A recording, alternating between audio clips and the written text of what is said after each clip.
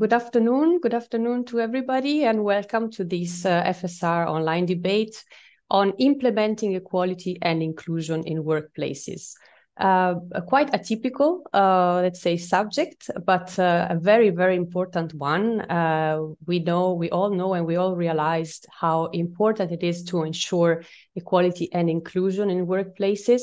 Uh, we are even at Florence School of Regulation, we have, uh, as you know, uh, a gender mainstreaming uh, program called Lights on Women, but it's uh, wider and wider the uh, understanding and uh, the need to make sure that these two very important values are effectively implemented. Um, at the same time, it's still a bit, let's say, to be discussed what we actually mean with equality and inclusion. There is there doesn't seem to be a univocal definition for either of these terms, and that's why we are also so much interested in uh, in this debate today. Uh, we will go really at the core of uh, equality and inclusion. We will also uh, discuss, very importantly, uh, how the several gender policies that uh, institutions, companies, uh, different kind of entities have uh, have been working on and have been implementing. Uh, what are their limits? What are their the benefits that they manage to ensure, but also uh, how they can be improved if they can be improved. And uh, I'm really, really pleased to discuss these issues with you today. We have a distinguished list of speakers that I'm going now to introduce one by one. Uh, we have with us Silvia Manessi.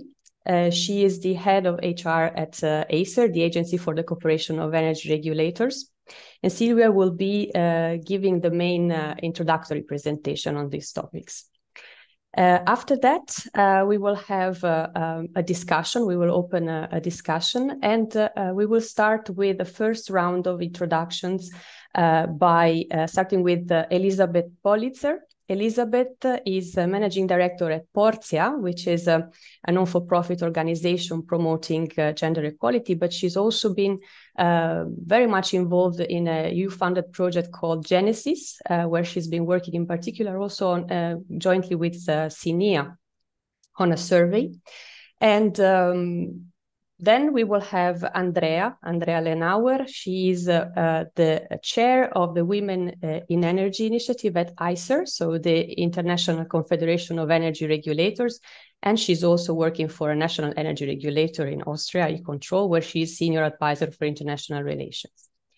Uh, then we will have Costanza Hermanin, and here we are, uh, is in-house uh, knowledge that we have. Uh, Costanza is a, a, research fellow at uh, the European University Institute, and she directs the Inclusive Leadership for Sustainable Governance Initiative. And she's also the founder and president of Equal, which is, uh, as the name suggests, um, an initiative promoting equal opportunities when accessing work.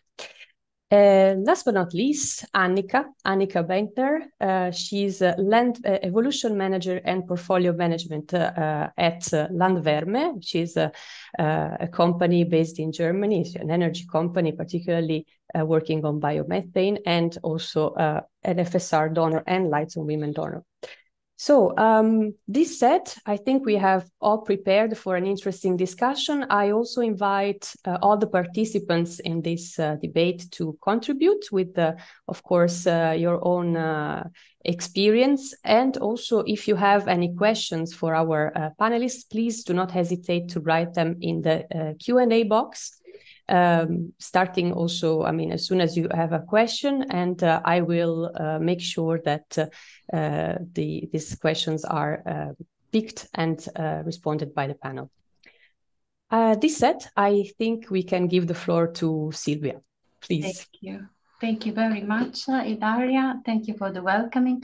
I'm gonna share my screen and I hope everything will work fine. Um, let me see. Let me let me know if you see it. Mm -hmm. Let me do like this. Is this okay? Perfect. Yes. Perfect. Okay, my presentation will be brief.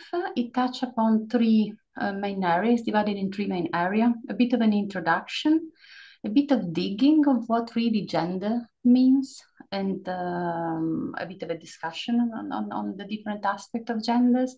And then I have uh, prepared a set of three uh, quite provocative questions uh, for the panelists or for, you know, um, raising up a bit the discussion, okay?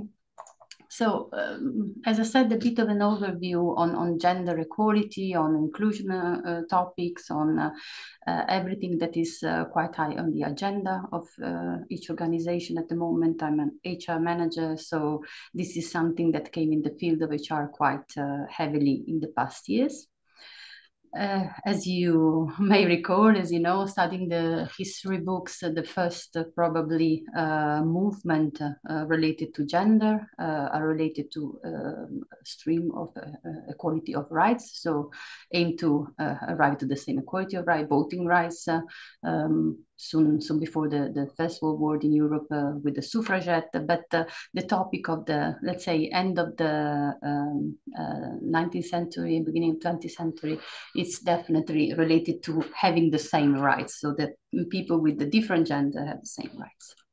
And this evolved a bit after the Second World, and it's not was not only uh, a matter of equality of rights, it was a matter of equality of treatment, uh, equality of being represented in politics, and uh, in the end also equality of pay. I think with regard to the equality of pay, there is still a bit of a struggle, uh, unfortunately. Uh, but around the end of the 60s, beginning of the of the 70s, uh, this was a topic in the agenda. And since this two movement, you know, is really trying to push boundaries in, in this equality, this inclusion, this, you know, fostering diversity, then it's really not only uh, before the 90s that uh, um, we start thinking that maybe the gender issue is not a topic uh, per se, but it's something that needs to be enshrined in all policies and that we need to really have a, a gender perspective in, in, in every single uh, topics in an organization, in our uh, social life and so on. So this is really, for example, in the field of HR, is really in the 90s that the, that the gender topic is uh, coming quite uh, heavily uh, on the table. Now I've put down here a couple of uh, sentences, really.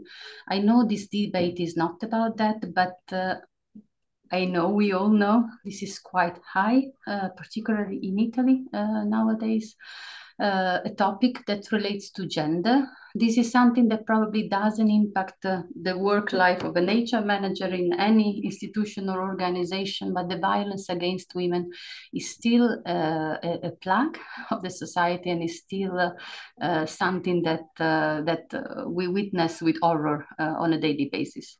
Maybe just a couple of things on this topic.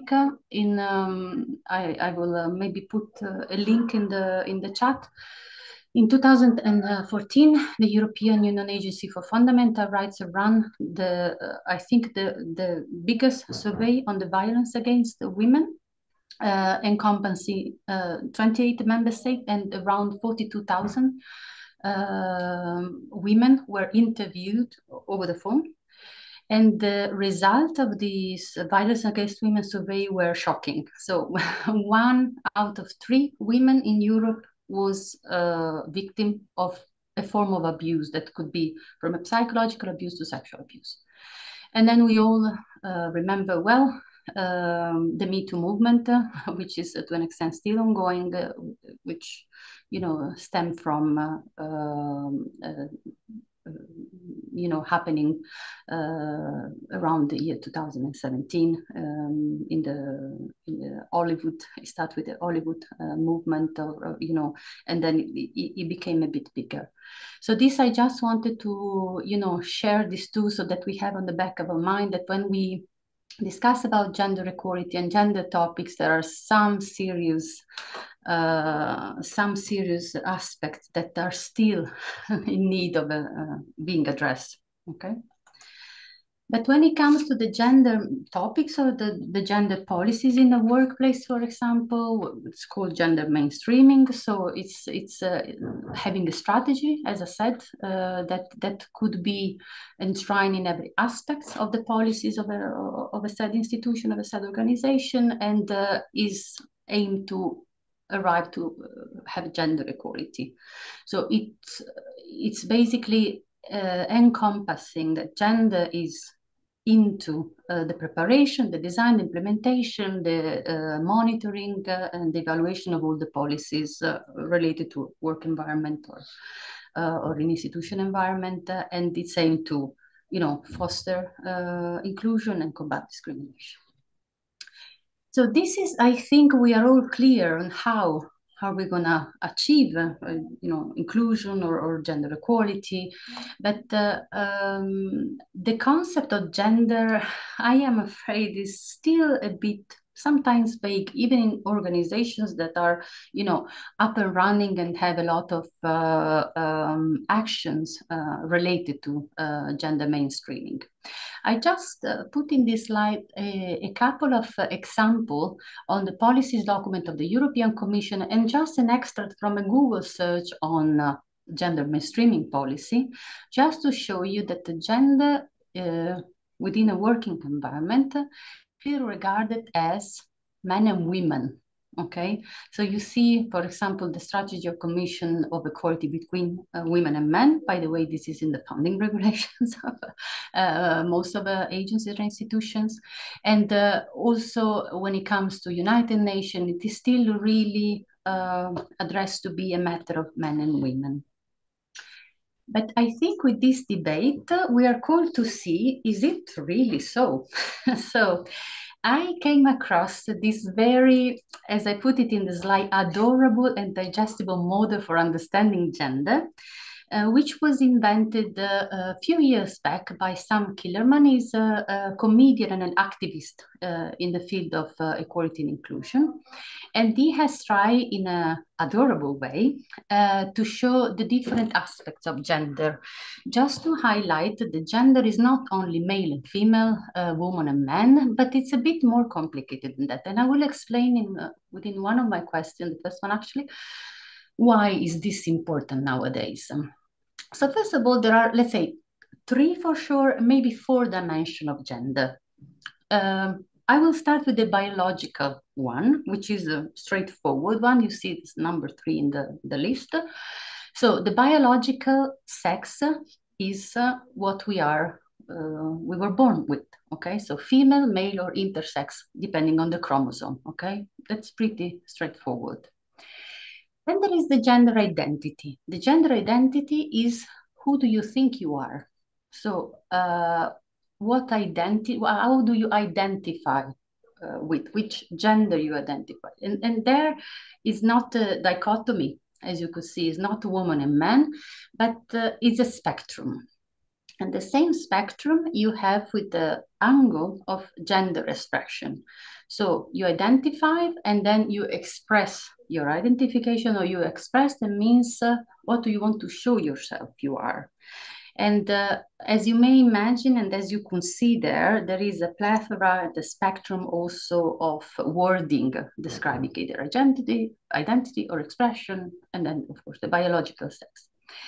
The fourth dimension is related to sexual orientation. This, to an extent, it's a bit less related to the gender in terms of identity and expression, but is whom are you attracted to? Will this uh, really make any difference uh, in the uh, gender policies? Maybe to an extent. It's a dimension of a gender expression and it's also a dimension of diversity. So that's why it was included uh, in this uh, uh, gender bread uh, explanation, okay? Um, so now I'm, I'm moving to the three questions that I have prepared, uh, just to let everybody knows that I don't have a reply to these questions. I was lucky enough probably to be the first one, so I put the questions there for the panel to help. But I think it's good to have some reflection around it. So the first question is, of course, do we understand this complexity? Or are we still uh, living into the dichotomy uh, woman or, or man, or even less so, so feminine and masculine, or even more so, women and men? When I see gender policies that are aim uh, to foster gender diversity, where the diversity is identified on the sex of the person, so whether I'm a female sex, then I'm, I'm questioning is it really an inclusion policy or not? Already with the dichotomy, um, male and female, but even more so if you think about some, uh, some of the latest. Um, uh, polls and research and uh, research that have been done on the so-called uh, Generation Z, which is the latest uh, generation of um, uh, workforce that is coming now into into our our uh, our organizations, and. you see in these two polls, one was run by Ipsos Mori and one was a Gallup poll. And there you see that the gender fluidity, so the moving away from the dichotomy female and male is really something that is sticking and is increasing with Generation Z. So it's something that is growing around us. And uh, in any policy of uh, inclusion, we will need um, uh, we will need to take into consideration. Okay, so if the complexity of gender was not probably the main uh, worry of an HR officer uh, 20 years ago, nowadays is becoming more and more. It's very difficult if you want to have my views to balance uh, when you have so many things still to be done uh, to, uh, to balance the gender female male to also include a different direction but uh, the first question is really do we understand and we acknowledge that there is such diversity or we are still uh, one step behind so I don't know, maybe I'll, I'll, I'll stop here for a second and I'll give the floor to any of the panelists uh, who would like to help me uh, with this question. Yes, I see there is a raised hand from Elizabeth, and then I think also Andrea has uh, raised her hand. So, and then Costanza. We go in this order, and then maybe Annika wants to to close. Okay, so shall I start? Please. Okay, so uh, so the question is about understanding the complexity, and I think the complexity is much more complex than actually rela related to the one particular characteristic, which is sexuality. Because what is missing and where uh, equality applies and non-discrimination applies is things like a combination of uh, your sex, sex sexuality, sexuality with age or ethnicity or uh, race or disability. And I just worry that this focus on sexuality is just diminishes the importance of the other characteristics.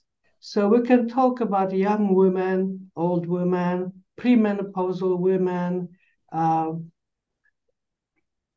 black women, Muslim women, or men of some. So I think the complexity is much greater, and uh, and certainly in a, uh, there's a much more talk now about inclusive gender equality, and that does then introduces into the how we perceive ourselves and how we are perceived by others, all the other important characteristics.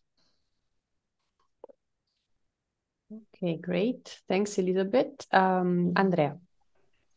Yes, hello. Thank you for inviting me. Uh, what Elizabeth was just saying uh, really resonates to me. Uh, when I prepared for their question, I wanted to say that complexity, yes, we can understand complexity always because we have the capacity to understand it. Uh, it's our human brain. It's it's a wonderful thing. Uh, but and when designing policies, we need to not be complicated, but simple, right? So reality is complex. We can use models to reduce this complexity. One kind of uh, possibility of a model would be to talk in values. So when I hear gender policy, when I hear inclusive gender policy, this sounds for me values like trust or tolerance, uh, um, respect. Yeah, so we can talk in values. This reduces complexity, and then this brings us much closer to our goal. So, what do we really want, right? So yes, complex, but not complicated. Thank you, Andrea. Costanza. Thank you very much. And uh, thank you, um, Silvia, because I loved the presentation, the images uh, you chose, and and also the approach inclusion, your um, attention to to uh, the issue of violence, which is so important and has also many interactions with uh, with the workplace. I had two short comments on this, and I will stick to this first question. Um, how do we understand and address complexity? Um, it's difficult. From what you showed, uh, we can uh, uh very well see that there is a legal level that is reflected in the policy documents that you shot. Um, at the level of the European Union, for instance, whatever is hard law, enforceable legislation that you can bring to courts, still speaks of women and men. And this is because there are some member states of the European Union that would oppose putting the word gender into enforceable legislation. So we are stick we stick with that problem, which is a political problem. Um, gender is there, we all know, and is used by politicians and is used in some of the non binding parts of legislation, like the preamble, etc., uh, but it's mainly in soft documents and it is indeed underdefined. But one of the reasons why it is underdefined, and it is my second point, which is an issue for us as well, is that if we talk about gender equality and addressing it, we need to operationalize it, and we don't have data. Simply because our data protection legislation, but also simply the methodologies we have so far, do not allow us to count the different dimension of gender and sexual orientation and uh, gender identity that we would like to um, address and uh, this is something I don't really have a straightforward uh, reply to. Of course, through surveys, we can certainly do a lot, but in order to understand complexity, we would also need uh, a larger uh, data sets. So there are some first steps done by the Fundamental Rights Agency, for instance, but we need not to underestimate these aspects of data. Uh, and uh, this is uh, just to comment on what um, Elizabeth said, this is also one of the main boundaries in addressing intersectionalities to me. So sorry, I raised more complexity rather than providing answers. No worries, Costanza. I think complexity is one thing we are not will not be missing today. So, Annika, please, your comments. Yes. Hello from my part, and thank you very, very much. I also like the slides, and I really loved the uh, gender bread you presented. And regarding your first question, I think that organizations don't fully understand the whole complexity yet. But I think complexity should never keep us from acting. And above all, we should never, as you mentioned, Elizabeth, I think, we should never offset one dimension of inequality against another one. And well, nevertheless, gender policies need to evolve as well, because it is true that so far gender policies often um, oriented um, or were oriented at a binary system. So we need to make sure that our policies become more and more inclusive. But I think in general, focusing on, as already mentioned as well, values of how we want to work or live together and um, evolving our policies and focusing more on individual humans than categories. Um, I think we can maybe work with this complexity somehow. That's great. Uh, thanks to each and all of you. And Silvia now will provide some reflections on your comments. Thank you. Thank you very much. Uh, yes, um, I think I got uh, all the points that, uh, that, that were made on this question. As I said, I don't have an answer myself. Um, I am taking a few of, of the things I capture. Um, we discussed about complexity, intersectionality, data, the policy, the legal basis. Okay, these are all different dimensions, which are going to bring me to the second question, in fact um, where are our effort? Okay, so if we have identified that, okay, binary is not really the right uh, way to go, we are dragging along with uh, legal document, legal policies that are still in need of, of data and definitions and we will never catch up uh, in our effort to have everything done the way in which we would like to implement at the same time.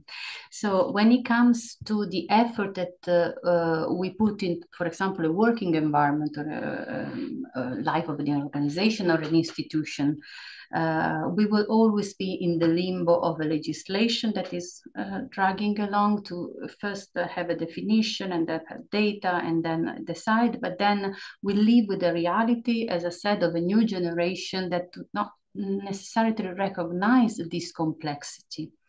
So the, the second question is whether we need to retailor our effort. And in particular, uh, who are the stakeholder of gender policies? Because um, it's it is you know in my experience that everybody comes around the concept of gender at a different pace and time in their life. There are some that they had the aha moment uh, uh, coming into a workplace. There are some that uh, believes i understand everything and then oh maybe not.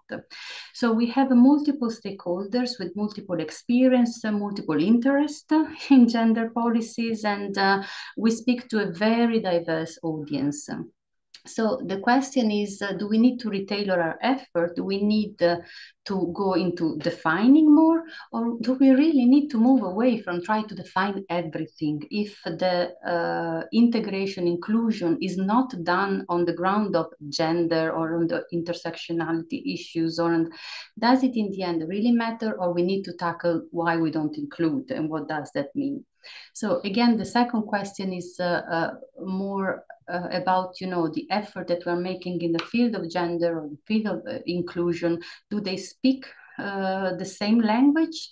Do we need to speak different language? And how do we stand you know among all this uh, chronic dimension of you know policies that cannot be really legally updated with what's going around in the in the daily uh, job Okay, very clear. Let's see who would like to go first. Andrea, please. Okay, thank you. A very inspiring question again. Um, yes, I think we need to retailor our efforts uh, in the way that we have to reflect our aims and policies on a very regular basis. Because uh, nothing worse than a policy when it's uh, published. I'm thinking of lengthy European uh, institutions, processes, it's already outdated. So how can you uh, uh, do better? I would say talk to people, you talk to the target groups, you talk to the workforce you want to, um, you have, you, uh, you, you want to, um, you create a, a better workplace, for instance, so talk to people, ask them what are their expectations, what are their needs, and you will have it, and you don't need data for it. Okay. I, Andrea, are you still there? Uh, it's frozen. Okay. Um, yeah, I'm still there. You're still there. Okay, um, because your video was frozen for for a few seconds. Ah, okay. So good, okay. Good that you're here. Okay, great. Talk, so, talk to people. My message. very good. Very good. Uh, Elizabeth, please. So I think when certainly one has to not so much retailer but tailor the efforts to uh, make workplace uh, inclusive and uh, welcome diversity of people who who uh, participate in the in the workplace. And but there are now uh, a, a, number of uh, very good examples uh, where this is being done uh, really effectively and under but finally enough under the umbrella of the, of the phrase of equality diversity and inclusion so it's not so much on the gender policies but i, I just feel that there's been re reframing of uh, of the uh, of the problem and most of the organizations that we work with or are interested in which are basically in research and innovation they have policies on gender well they have a policies edi policies so equality diversity and inclusion.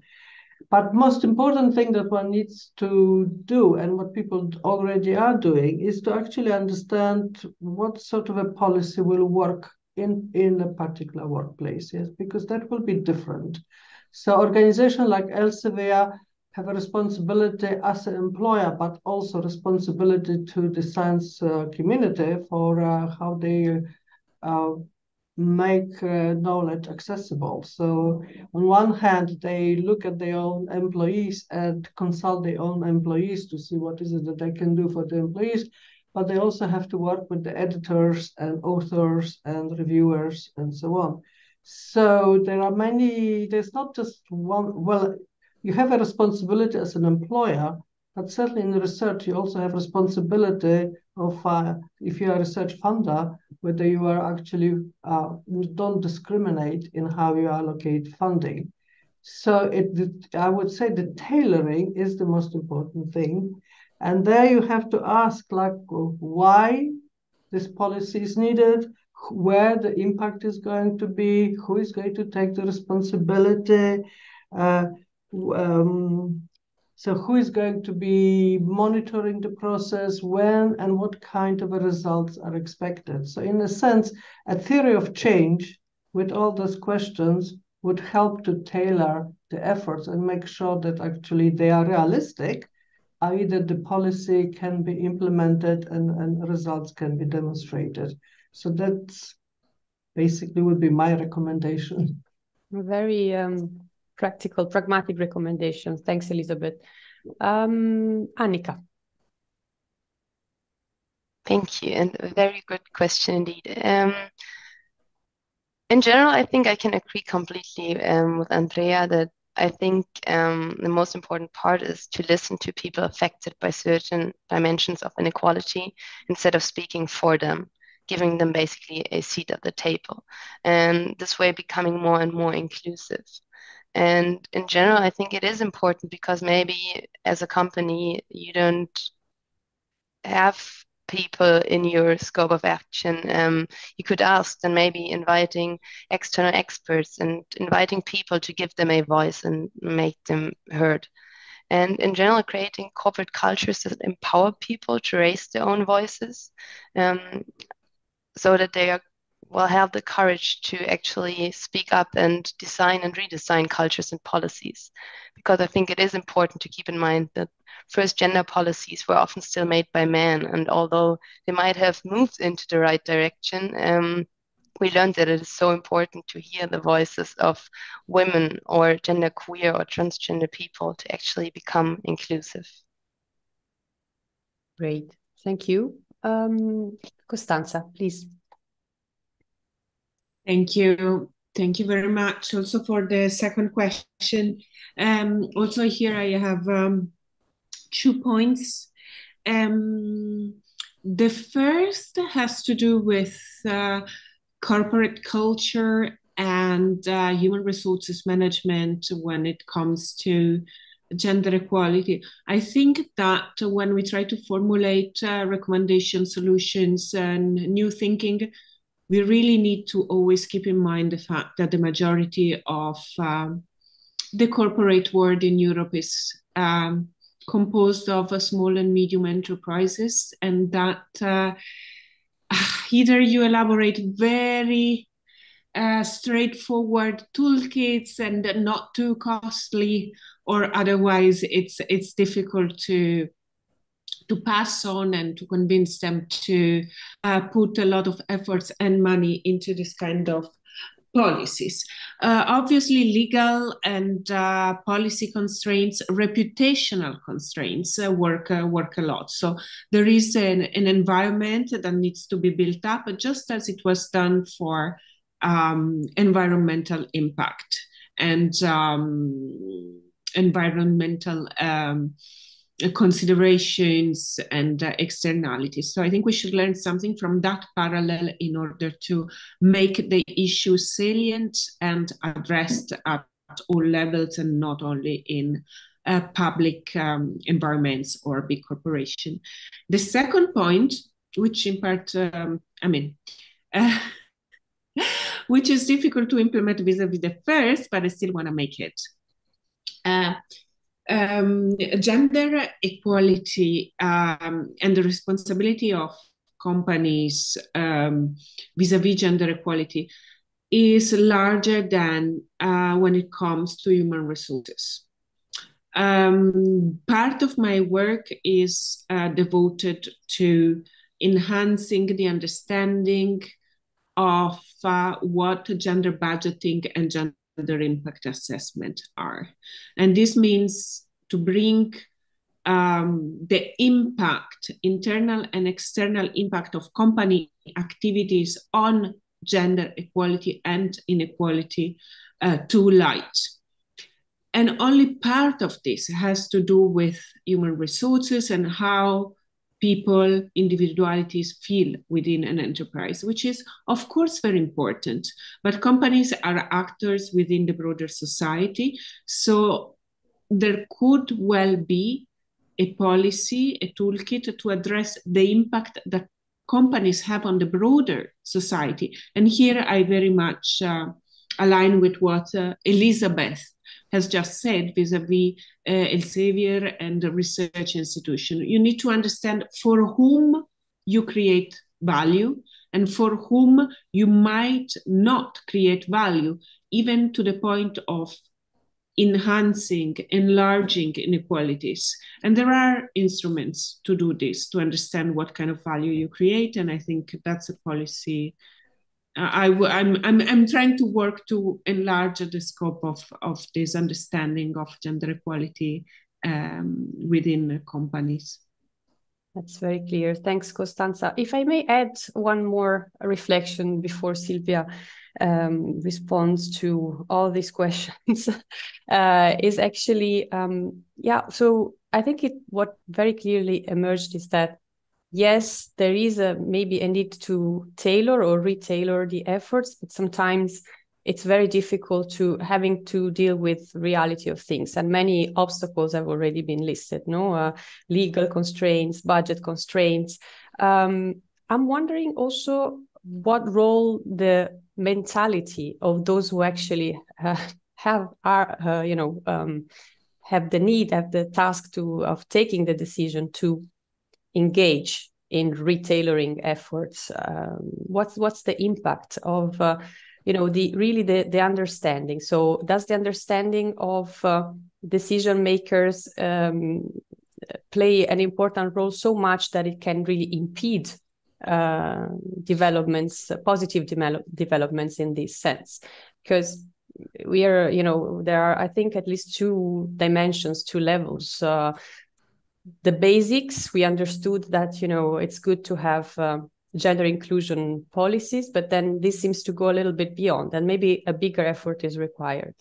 Silvia yeah, thank you, uh, thank you, thank you, everyone for uh, for the replies. Uh, uh, for me, debates around this question on the effort creates even more questions, but uh, um, maybe some reflection from what I'm uh, capturing. Um, I take it from where you you left, Ilaria um, about the understanding. Uh, as I was saying before, if for gender uh, equality we understand putting somebody who was born a uh, woman in different places in the organization uh, uh, create a gender balance, I think we are really off off track there. I also recognize uh, that uh, imbalances in gender or inequalities uh, may be leveled up with a bit of a sometime push. Um, like for example, as I as I as I put in the very first slide about the Me Too movement, that was quite controversial. There were other movements about political representation in the 60s. They were controversial because they picture an idea of women which um, actually do not really uh, fit all the culture or different culture of uh, the, the women in the different cultures. So there is always a bit of a, a controversial uh, angle to it, and there is a bit of a pushing the boundaries, which can can be a bit too much at the beginning, but maybe maybe it's needed when you when you claim your space. Um, you need to use your elbow a bit. Okay, or well, this is this is quite uh, normal. I think it's pretty much established nowadays, although there are many studies uh, also in, in the field of economics uh, that there is there is a business case for gender equality in organizations. So organizations that are more inclusive are organizations that are performing better. Now, having taken all these uh, elements, though, um, my impression is that when we discuss about policies or effort and so on we are focusing on the on the how you know how are we going to do it in, in the short term or medium term. And and sometimes i feel myself a bit uncomfortable like okay it's a very good discussion but at the end of the day what's the final aim? And this is where i come to my third question. What is the final goal and I have asked myself uh, as as as a woman, but also as a as a HR professional, these questions many times. What what is it that we want? I have two daughters, and uh, I'm wondering about the future. What would be the you know what would be the opportunities that they could have and I couldn't? Will, will, will this be the case? Huh? But then, really looking long, long term, what is it that I would see this uh, as a final goal. And to me, um, the final my reply to this question which i think i have is that i would like in the future that gender or diversity is regarded as a, a feature that doesn't have anything to see with the performance of your duty with the way in which you interact with the other that is like the color of your hair or the color of your eyes. It doesn't really matter how you identify. It doesn't matter your race. It doesn't matter your background. It doesn't matter whether you are a, a, a woman of 50 or a young man of 20.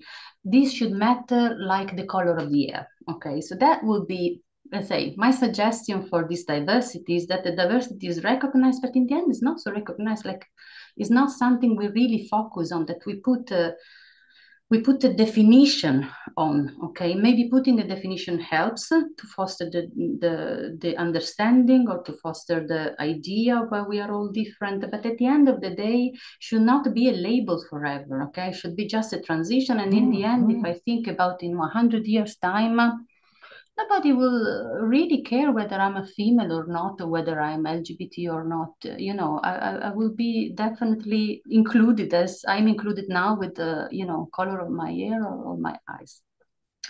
And uh, uh, maybe before uh, I, I, give the floor to the panel, um, I have a sub question, which is uh, uh, again um, uh, quite quite provocative. Okay, so there is an assessment of where we are. I think in many, mm-hmm. many of the policies I've seen, there is a bit of a lacking of where we want to be. But imagine we want to be really in a place where gender is regarded as a normal, you know, whatever feature. How do we get there? There is a process, and of course, policies and of course, studies on intersectionality or understanding and so are there. But then, should we just move forward for them? Because otherwise, this mm, labeling may create even biases. And I want to share with you this video, which I will now uh, leave Tobiris to help me with. Uh, because when it comes to really do some philosophy, I always uh, um, I, I am a Blacarian uh, philosophist, and I'm uh, go back to what the children think because I think they can teach us a lot. This is a nice video. Uh, it has a label uh, on it. I mean, it's it's, it's created by I think one of the company for beauty products, but it's a very nice video, and maybe it's a bit food for thought uh, before replying to the questions. Thank you.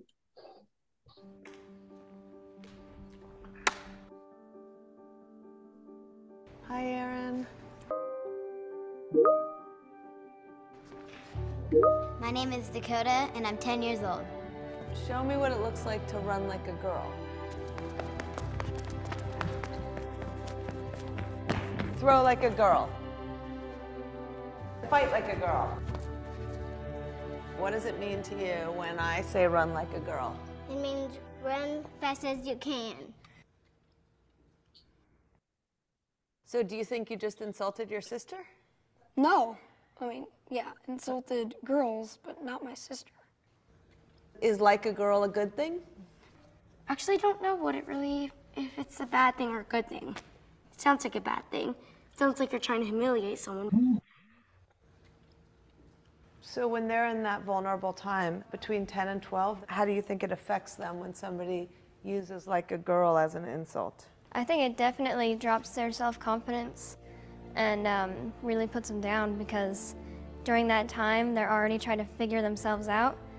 And when somebody says you hit like a girl, it's like, well, what does that mean? Because they think they're a strong person. It's kind of like telling them that they're weak and they're not as good as them. And what advice do you have to young girls who are told they run like a girl, kick like a girl, hit like a girl, swing like a girl? Keep doing it because it's working. If somebody else says that running like a girl or kicking like a girl or shooting like a girl is something that you shouldn't be doing, that's their problem. Because if you're still scoring and you're still getting to the ball on time and you're still being first, you're doing it right. Doesn't matter what they say. I mean, yes, I kick like a girl and I swim like a girl and I walk like a girl and I wake up in the morning like a girl because I am a girl. And that's not something that I should be ashamed of. So I'm going to do it anyway. That's what they should do. If I asked you to, to run like a girl now, would you do it differently? I would run like myself. Would you like a chance to redo it?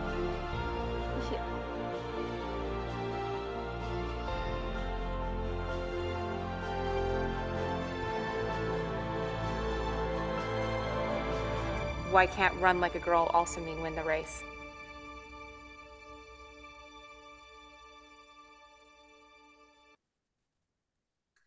Okay, uh, yes, thank you. Um, maybe, um, you know, before leaving the, the, the, floor to the, to the question, where are we uh, going? Maybe a couple of, uh, a couple of uh, pictures that I, I, I, found interesting from this video. Uh, it's quite emotional.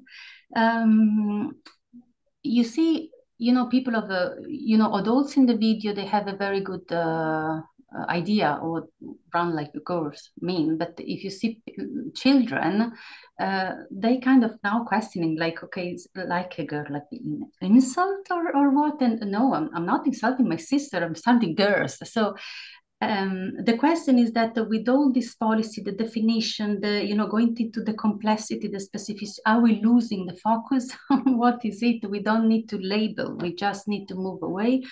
We are, are we running as fast as we can? Um, and to me, I don't know. Maybe the reply to this one is no. But uh, I, I leave the floor to the panel. Thank you, Silvia. Yes, very emotional video. I could see some yes um, impact uh, on all of us. Uh, thanks for showing it. Um, let's start from Elizabeth. Okay, well, thank you for this video. Actually, I was watching it and thought, gosh, how American it is and how how how it depends on the stereotypes. And if that such a video was made, I don't know, in Jordan or a Korea or Japan, it probably would be quite different. It basically plays out the, the fact that we are affected by stereotypes. But you know, babies few months old already make a differentiation. They can recognize the person that is the carer and the person who might just play with them. So this, so we have to recognize that there are those that we. So when when the question says, you know, what is the final goal? We have to actually understand what are the big barriers into actually achieving any goals and I think the goals have to be achievable. Otherwise, we just continue talking about these issues forever. And one thing that I always also uh, strikes me is that when you listen to people with disability, they don't want to be identified by their disability. Okay, they want to be say, treat me like a, we treat anybody else. But people whose uh, focus is on their sexuality, want to be recognized and prioritize the fact that you know I'm transgender and take me on like this. So um, obviously the personal identity is hugely important to people, to everybody, but it is influenced right from the moment we are born by the culture and the environment in which we live and uh, uh, uh, brought up in. And so the final goal would be for me just real understanding and being really inclusive. Even even I have been struggling what inclusive as opposed to diverse, as opposed to equal means. But I'm beginning to sort of understand really it's in being inclusive is being tolerant and accepting and not feeling like you have to judge a person. So we have to basically the goal has to be to make clear what we mean about when we're talking about gender equality, being inclusive, being diverse.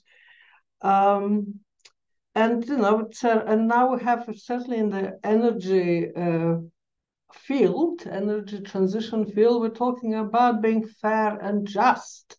Okay, so we're adding additional, very complex uh, uh, and unclear uh, concept into our vocabulary and it just makes the life slightly more difficult. It makes it more interesting, but it makes it a little bit more difficult. So I would stress that we really have to look at the goals that are achievable. Like I think that in Europe, uh, gender pay gap can be improved. That is an achievable goal, and there are policies in the UK where people have to remote, re report on their uh, gender pay gap. I think mainstreaming gender into budgeting in the European Union, that should be also an achievable goal because it can be measured and DG budget does look at the organizations and programs from that perspective. So I think we have some goals that can be achievable. Uh, empowering women, I find that probably is not achievable. SDG 5, everybody is failing on SDG 5, okay? So let's just start with laying out which goals are achievable. Thank you, Elizabeth. Yes, a little bit what also Andrea was saying, starting from the values. And while we run uh, towards the goals, there are obstacles. Costanza, please. Yes, thanks for the the question is the question actually and it's super interesting. But first um, i wanted to give you an emotional reaction to the video which obviously i know but every time gives me emotion especially towards the end no when there is this very american indeed elizabeth uh, um, empowerment message saying yes of course we can do it. We can do it exactly even better but at least at the same uh, with the, with the same results and my thinking is immediately, yes, but how much F harder it is, right? So it gave me a little bit of um, thinking because it is harder. And here I comes to the to the second point, perhaps. Um, until it keeps being harder, I think that positive actions are justified uh, because because it is and uh, it shouldn't be. And societal change doesn't happen within one generation. Let's just think about lgbtiq plus rights. There is indeed a lot of societal change in uh, in our generation, in the next generation, etc. But uh, it it took a lot of of time with and, and it's the same with many other things. And the second point is a point of comparison. I have, I do uh, second and share Silvia's vision that. Um, um, gender should be like any other characteristic. So it shouldn't be a, a factor that determines the way in which you are treated at work, but in any other case. And yet, um, before working on gender equality, I used to work on race and ethnic discrimination. And uh, there is a lot of discussion um, in that field as well, and also um, a lot of experience about uh, colorblind versus race conscious policies. And um, I am definitely among uh, those who support the idea that until race is a um, category that is relevant in in the head of those who discriminate, then it should be relevant for policy as well. And as a matter of fact, the majority of my Black friends would tell me, Don't you see I am Black? So treat me uh, like uh, people who see me as Black would treat me in the positive way. Taking into account how negative it is, the negative way. So, uh, to me, the um, short answer is of course, Silvia, the, the goal you describe is the goal we should be uh, looking at. I don't think it is within reach any time soon because of all our experiences, but also simply because there's, I mean, you see legislation. We still talk about men and women, and we are stuck there. So we're ages away. So I think that gender conscious policies are uh, are still very important. Um, yeah, and positive actions with. Very good, Annika. Would you like to go next? Uh, yes, um, thank you. I think I can um, agree totally with what you just said, Constanza. Uh, sorry. Um, I think yes, the film showed the big problem we still have in our society that we still associate gender with certain attributes and how much our society and environment still has to change therefore um, and yes, to refer to your question, I think the final goal would be maybe living in a diverse world so that attributes that currently count as diversity dimensions become features such as colors of your eyes or hair. But until then, um, I also agree, um, I think we have to be realistic. And I think as long as um, women or transgender or genderqueer people experience more violence, higher risk for poverty, less access to education, it is important to name the reasons they are being discriminated for. So that's maybe, yes, short Absolutely. and easy. yeah, short and very effective. Thanks, Annika. Uh, this will lead to a question I have for later on language, but Andrea first, please. So, can I add something, uh, Ilaria, to that? Please, uh, please. Debate? So, please, I think we, we, we are all very privileged to uh, to spend uh, one an hour to, to debate about gender equality. So uh, we are thinking of what the final goal could be. So I think it's quite of a privileged uh, work we have to spend time to discuss this. Uh, it's uh, some philosophical uh, questions are coming up. So I think we have to keep in mind that uh, we have a very good quality of life. I mean, you, you, and you, we all, yeah. Um, so we always have to keep in mind this first, yeah. So the group, the group I'm leading um, in the in the international um, regulators agencies uh, network, Women in Energy, um, cross continents. We focus on mid-career women. It's from the they are from the Generation X, um, because we believe that they are the ones who have a decisive influence on both the soon-to-be departing workforce, the baby boomers, right, and the younger generation, the Z generation. Uh, Silvia was was mentioning this. Uh, um, these categories, I think it's very, very important to know that uh, these um, generations have different values, they have a different starting point. They have uh, different quality of life, uh, which for, for, for them is, is, is, is normal, right? Which has not been normal for, for baby boomers, for instance. So uh, when bringing together these uh, women and to focus on them and we empower them in our program, I'm reflecting on an everyday basis why I'm doing it.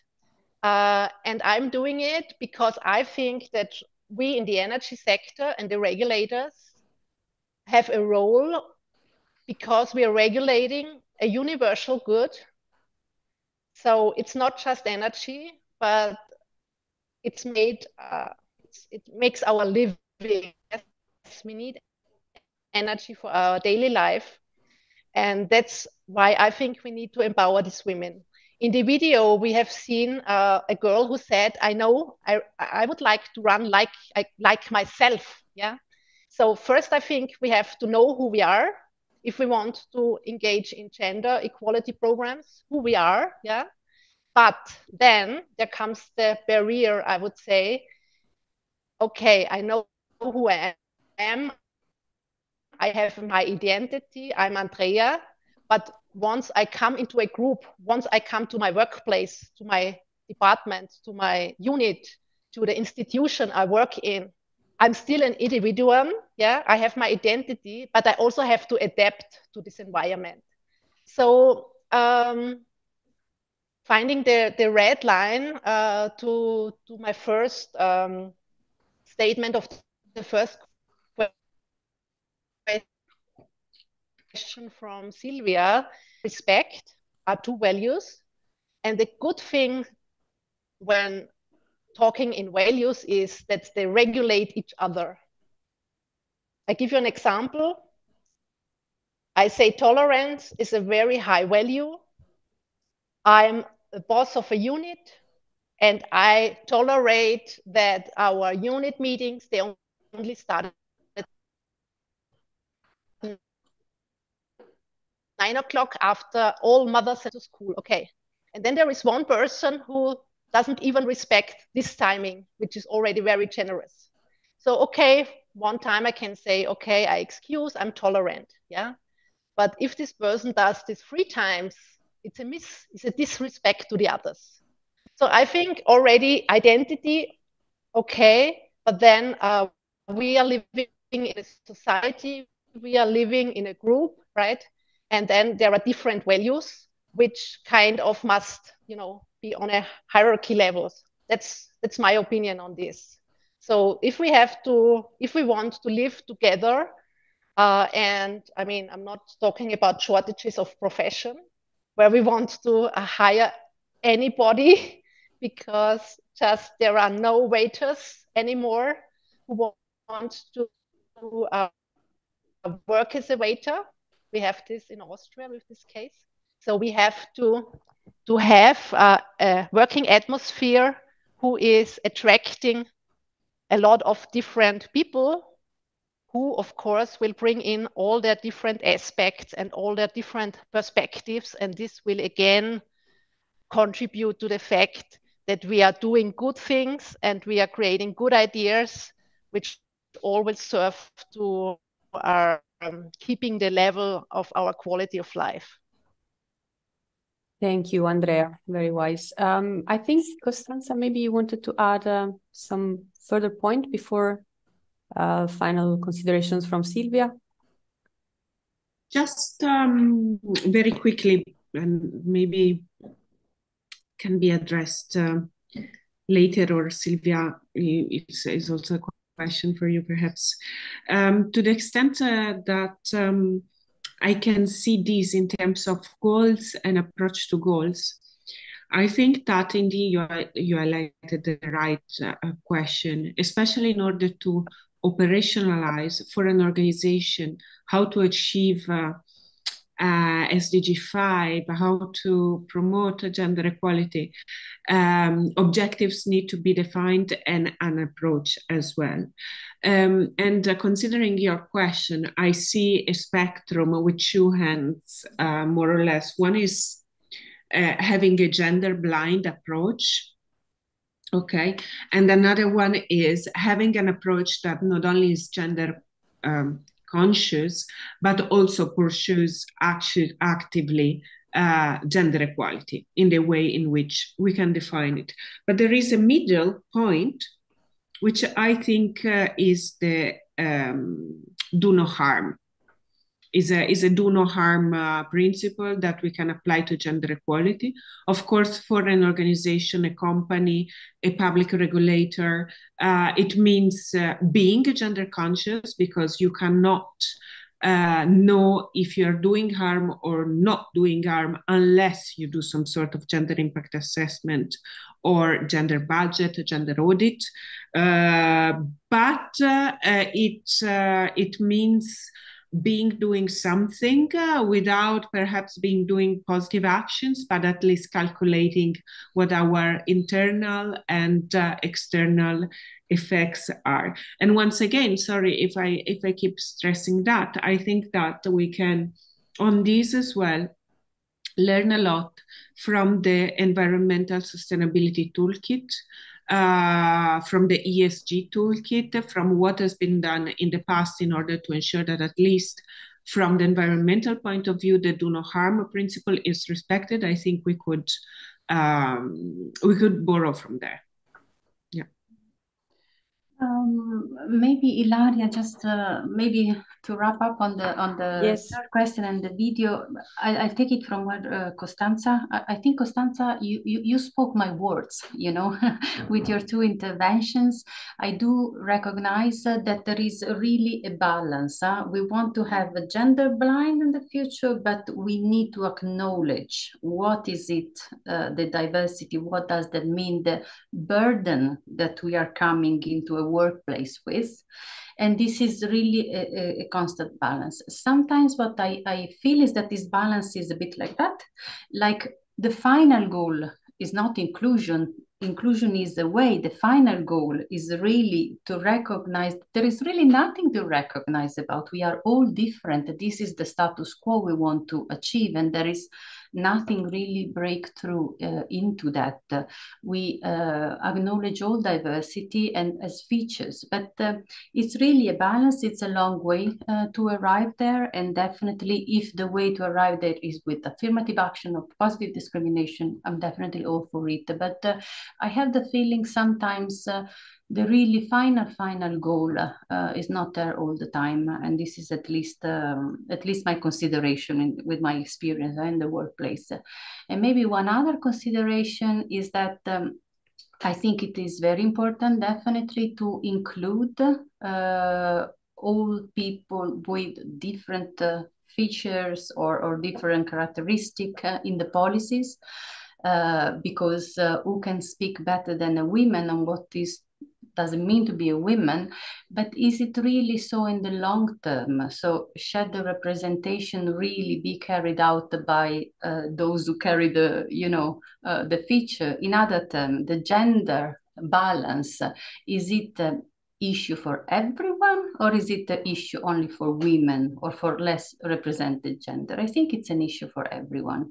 And for example, I have a bit of a cringe all the time. I see, you know, programs for management for women huh? okay this is a, a, bit my like oh my god are we still there i will follow myself a, a, leadership program for women if i found that they organize a leadership program for men okay or for anyone else as it matter so this is still on on some of these issues i'm still cringing but um, yeah i leave it uh, now to uh, Ilaria. Thank you very much, everybody, for replying to my questions.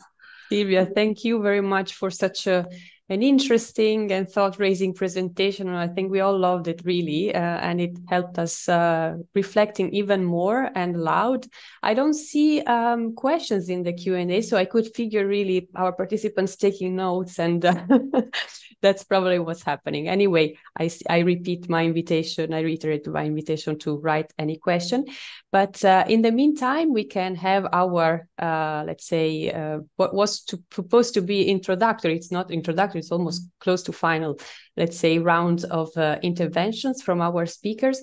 Um, if I may, I would like to refocus a little bit on the title. We said so many things, many interesting things. A little bit on the title of uh, our um, our online debate. So refocusing, if you can, in your uh, five minutes intervention in uh, on uh, you know the um, application, implementation of uh, uh, gender inclusion policies in uh, in workplaces. Because we heard, and particularly, I think uh, question number two from Silvia was uh, encouraging, you know, to uh, come up with practical, pragmatic solutions on how to do that, on how to make sure that these policies are effective. And what instead are the limits, the obstacles that we discussed a lot, and I was just on top of my mind. I was thinking, you know, the importance of language, uh, you know, in uh, working places, in the culture of working places, um, how this can be a little bit steered uh, without getting to, uh, you know, extremes, but you know, as to make sure that um, it is inclusive. Also, the language that uh, that we use and also, um, we recently attended a, um, a, meeting of the DG Gender Equality Platform, which was extremely interesting on LGBTQ. Um, and uh, there, I think it emerged clearly in the discussion how important mentoring is, particularly, you know, in companies uh, who have this culture, who have started implementing and working on this culture, uh, how important it is for uh, a staff member to see to picture himself or herself in you know in uh, um, uh, other colleagues that are uh, mentoring in that sense and do uh, constitute a role model. So that's enough from me uh, for for food for thought. And i would now start the um, the debate the the round of interventions with elizabeth. Five minutes. Thanks well, thank you so much. It's good to I'm, first. So it's um, first thing about the mentoring. Indeed, many, many, many mentoring schemes have been produced and done, and many of them are really bad. But there are some examples of really good mentoring schemes that, and if it depends where it is done and what, how much resources is put into the effort. There's been very good mentoring scheme at uh, Sun Microsystems, where they actually they could demonstrate that over several years it produced a benefit to the bottom line of the company, which is really what private industry is looking at. Uh, so yes, it, one has to just really be very careful how one design mentoring scheme. We are currently in uh, several projects, and uh, you know, uh, Portia, my organization, was uh, incorporated in 2001. All right, so you can see that we've been working in these areas for many, many years. But right now, the areas are that we are in, looking at is basically energy. Okay, so questions that come up is is is gender balance in energy sector possible? Okay, and where so part of the SINA uh, project study was to look at different sectors or different renewable sectors, and you cannot just bundle them together because they are different. So hydrogen is different to wind energies because there are different jobs, and uh, some are more manual, some are more research based. So one has to look uh, also at the pipeline. What is the reality of the pipeline of women coming in, staying in the sector, or maybe what is kind of a career mobility possible for them? Uh, yes, and so the, this thing about is gender balance uh, at all achievable in some sectors?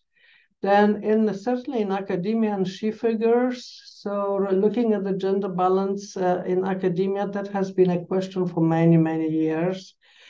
And uh, certainly at the leadership level, there's always big problems. And the question then has to be, is gender balance the solution for being, for universities to be equal, diverse, and uh, inclusive? Or is it really a matter of culture? So in the fields where there are certainly male dominated, like engineering or physics, where it might take years before we can actually uh, uh, increase, really increase the numbers of women at the decision-making roles, can we just change the culture itself? And will Horizon Europe, with their requirement of GEPs, actually make a difference? And how we're going to demonstrate that actually uh, Horizon Europe will make a difference because we can demonstrate that. But I really also want to stress how important it is to show that there are examples of good practice, that we are not just fighting this problem endlessly at the problem, that people have actually developed uh, ways of achieving change. And this, uh, so we always like to give people the good news. It is possible to achieve change, okay? but it does require commitment and resources and people and uh, and long-term commitment, not just something that you put into a policy. Thank you, Elizabeth. Thank you so much. Andrea, your turn. Thank you, Ilaria.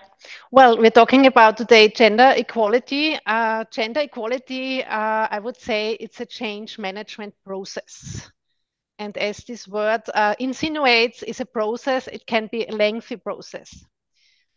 Okay.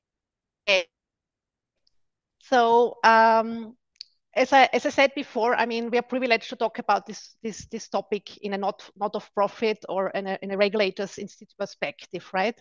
So, but there are companies, and money makes the world go round, we know, and they said that uh, gender diverse companies are more profitable they found in a 2018 McKinsey study. So if I replace the word profitable by the word of high performing, contributing to society, contributing to the wealth of society, I can say that gender equality is a process which is worth to tackle and to, to start and to continue. Okay, so what we do in the Women in Energy network, okay, we can say, or we know we are very, uh, uh, we are very conscious about the fact that we cannot uh, start a, a, change management pro process, right, a across across the world. I mean, it would be nice to to be able to do so, but I think this is not realistic. And we heard today that goals should be realistic. So what we are doing we um, design programs which in fact tackle the expectations of women who want to be and to act and to work as high performers in regulatory agencies. So we ask them, we talk to them, and they tell us two things. They tell us, I want to gain leadership skills. Yes, they tell us and they want to expand their strategic network. So first, when I was reading these answers uh, or hearing them, because they also say so uh, when you talk to them, uh, I was thinking, oh my gosh, how can you help somebody to expand her network, right? And we found our ways to do so, both uh, in the form of our peer coaching program, this is now the the big brother or the little sister or the big sister or you name it of the mentoring program which was um, established and uh, well performed by, by my predecessor Una Shortall.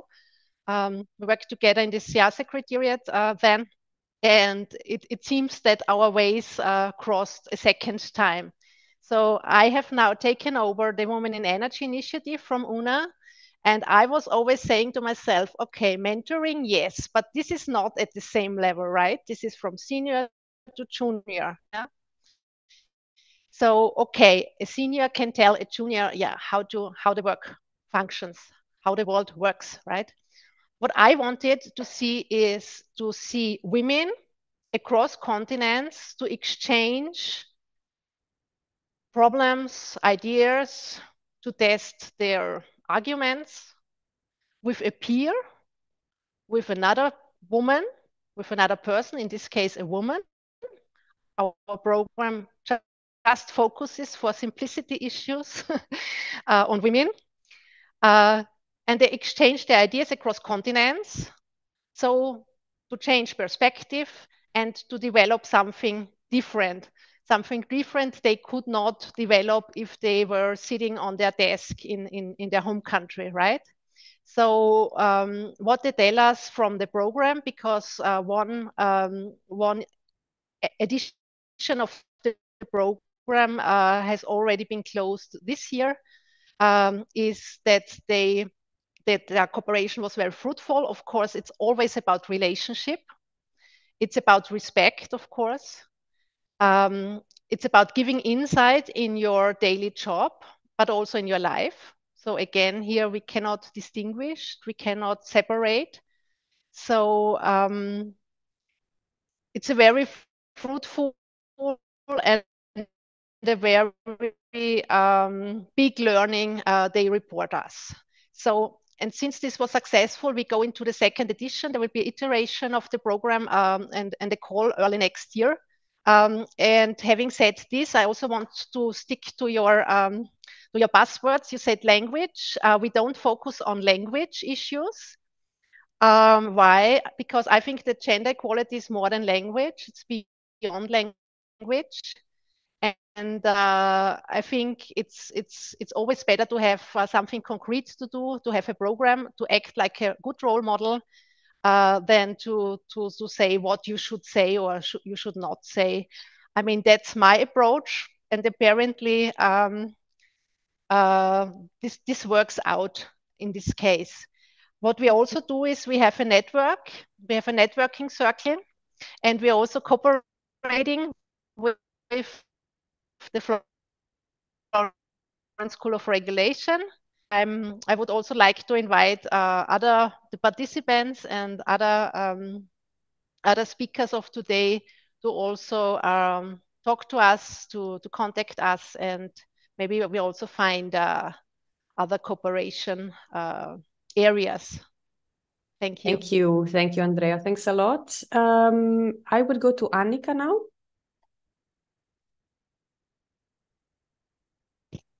Yes. There we go. Perfect. Thank you.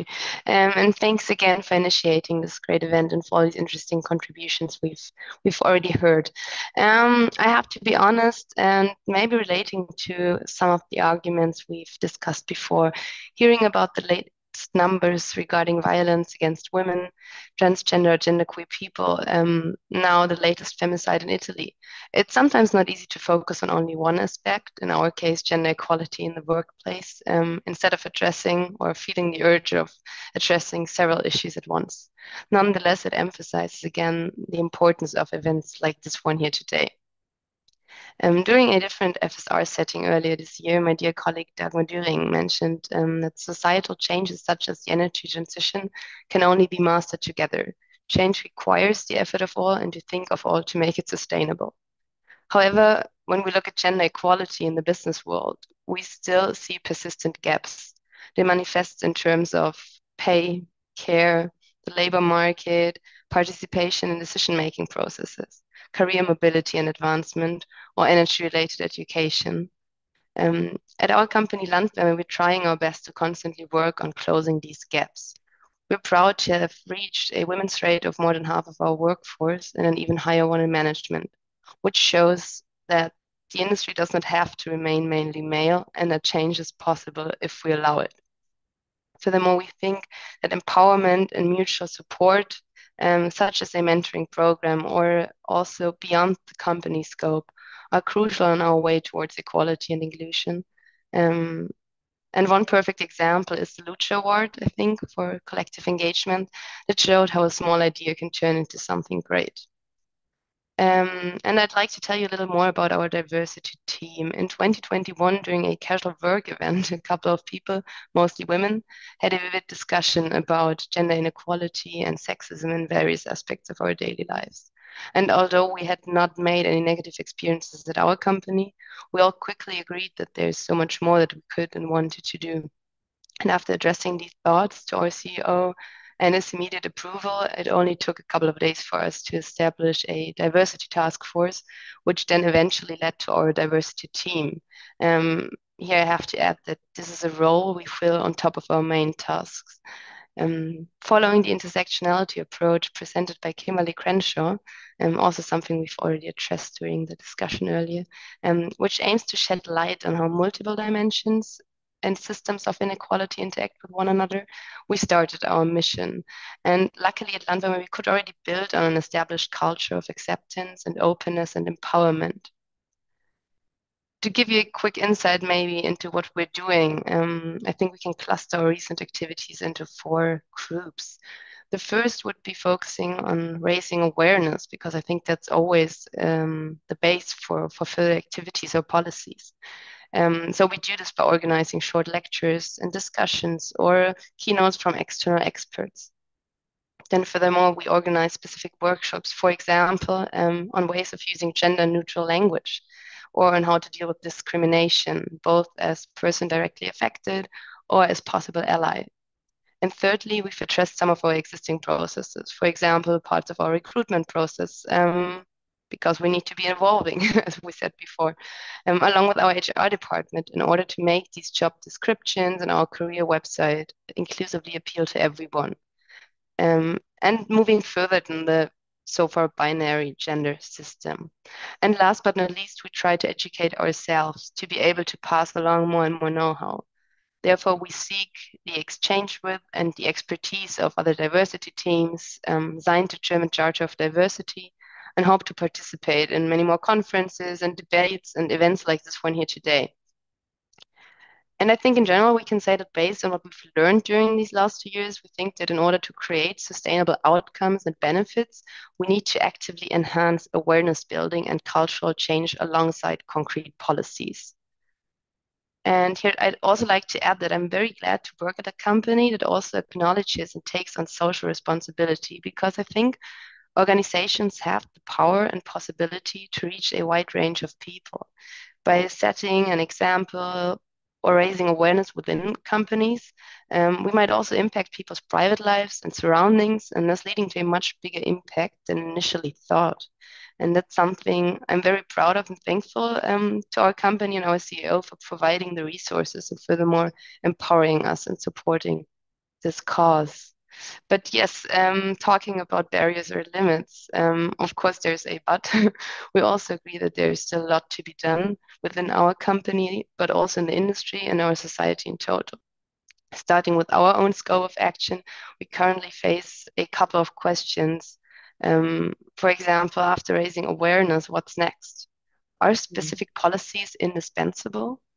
And how do we reach people who worry about too much change or just don't see the necessity because they still exist? and is it enough to tackle these challenges um, we have on top of our main tasks, or would it be necessary to prioritize and implement structural change, such as a full time position or even more? And well, a general question why is the energy industry still led by men? And how do we change systematic inequalities?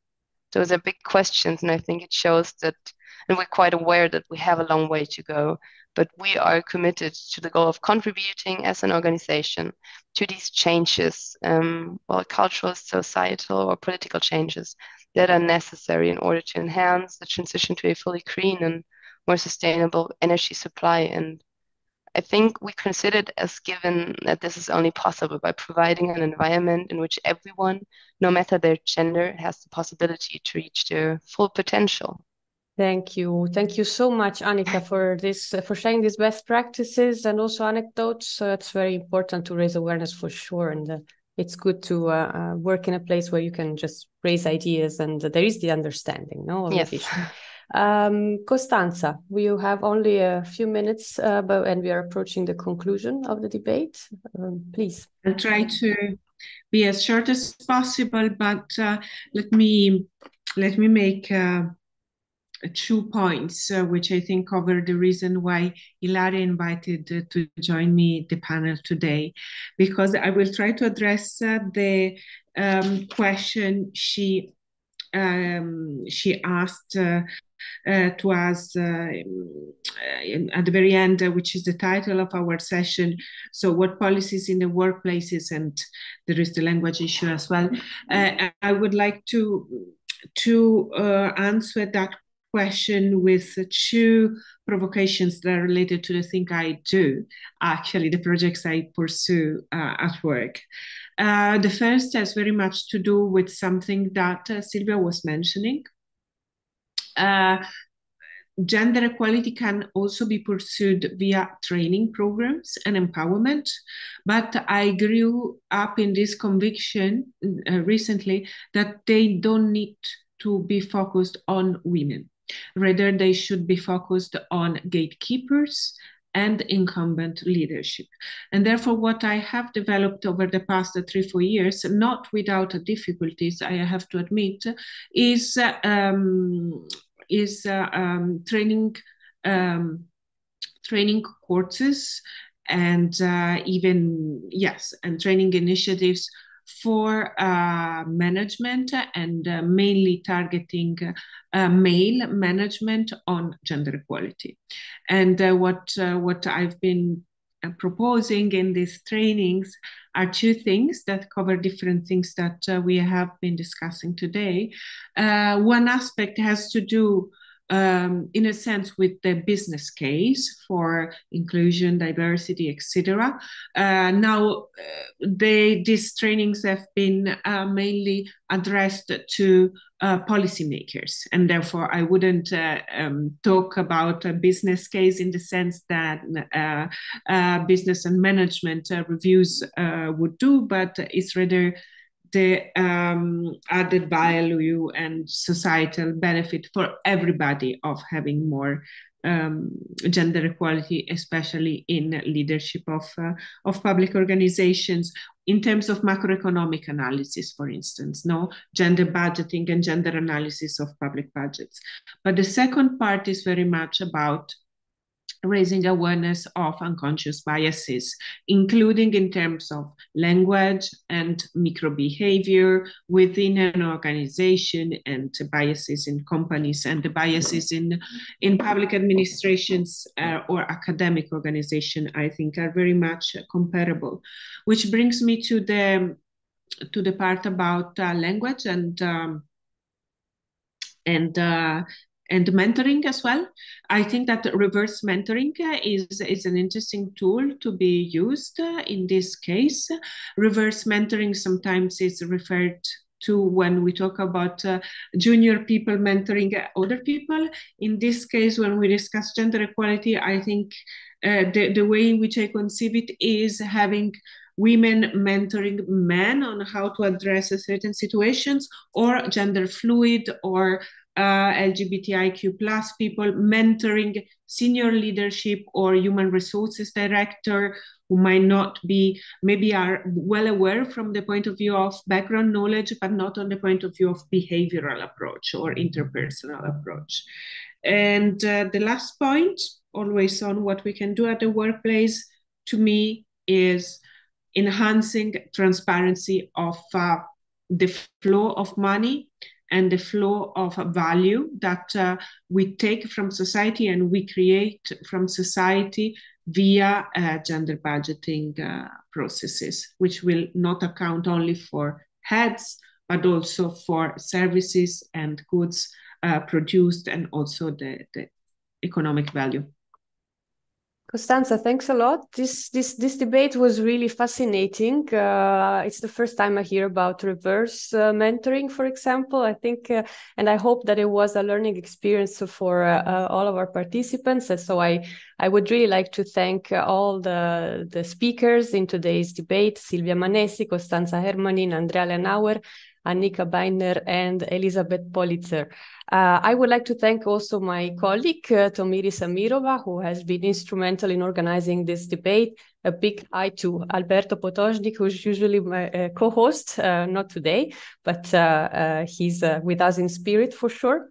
Uh, I would just list three takeaways. These are not do not have the ambitions to be the conclusions because we uh, we really um, discuss several topics. But um, I think what we uh, what I take away is that there is indeed a discrepancy in uh, reality between reality and this uh, uh inclusion uh, policies and implementation, which hasn't really been captured or even understood. So there is a lot of work to do in raising awareness we don't need to label, I heard, we just need to run away from definitions. Let's focus instead on values, on tolerance, on inclusion, and hopefully this will help um, uh, will help us keeping away from restricting too much uh, the implementation of rules.